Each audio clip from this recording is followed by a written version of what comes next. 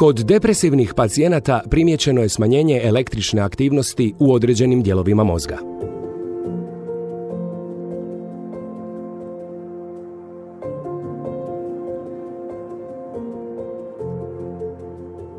TMS pogađa te dijelove.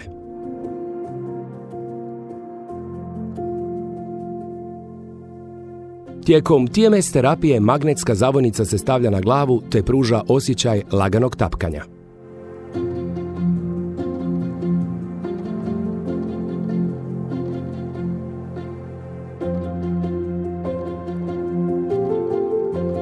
Magnetsko pulsiranje proizvodi blago električno strujanje u mozgu, stimulirajući tako staničnu aktivnost kako bi se dostigla normalna razina.